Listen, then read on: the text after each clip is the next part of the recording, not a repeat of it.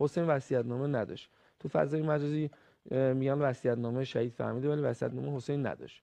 نکته پایانی می‌خوام یه فرازی از وصیت‌نامه شهید پرافتخار دوران دفاع مقدس شهید نوجوان شهید محمد حسین فهمیده قرائت کنم که متناسب با این ایامم هست انصافا.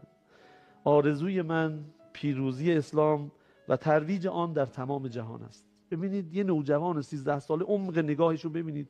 و واقعا دانش آموزای ما در این تراز هستن امروزه.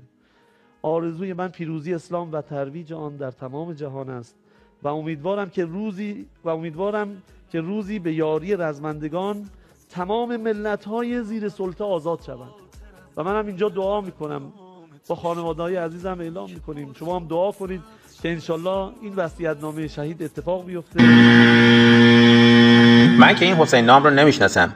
ولی تو رو به خدا اینم شد برنامه واسه ملت گذاشتین تو تلویزیونتون؟ تو صدا و سیما؟